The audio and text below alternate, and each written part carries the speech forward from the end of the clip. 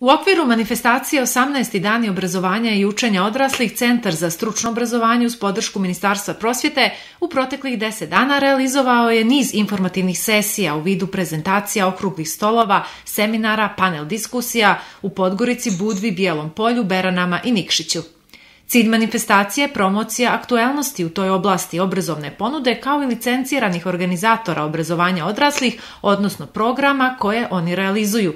Istakla je Ljiljana Garić, rukovoditeljka odjeljenja za obrazovanje odraslih u Centru za stručno obrazovanje. Analizirajući sistem obrazovanja odraslih, došli smo do, do, neke, do zaključka da nam se čini da je jednostavno informisanje slaba karika u ovom sistemu i sve ono što mi radimo, ako građani ne znaju za to, ako ne znaju poslodavci, sve one zainteresovane strane za kojih mi ovo radimo, nijesmo odradili dobar posao.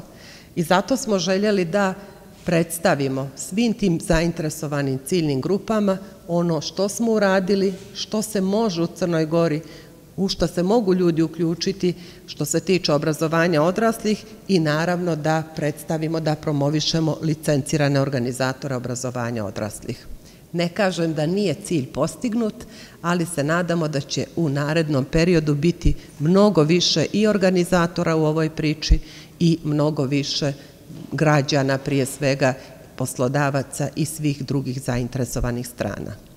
U realizaciji programa upriličenog u Inovacijono-preduzetničkom centru Tehnopolis u okviru manifestacije Dani obrazovanja i učenja odraslih 2019 učestvovali su predstavnici Centra za obrazovanje odraslih Onogošt School, Frizersko-kozmetičarske akademije Ljilja i osnovne škole Radoje Čizmović iz Nikšića, Kotorske srednje pomorske škole i Urban Protection Training centra iz Podgorice.